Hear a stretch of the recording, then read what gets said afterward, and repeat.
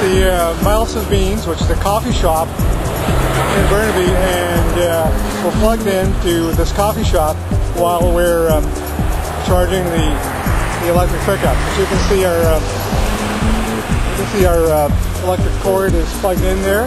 We're plugged in uh, right here, and there goes our cord, and uh, there's the the coffee shop, and we'll just follow the cord. We'll follow the cord to the coffee shop, and uh, we're going to go in and uh, go into Miles of Beans.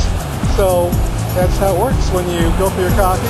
Your uh, your pickup, uh, electric pickup, also goes for uh, some refreshment.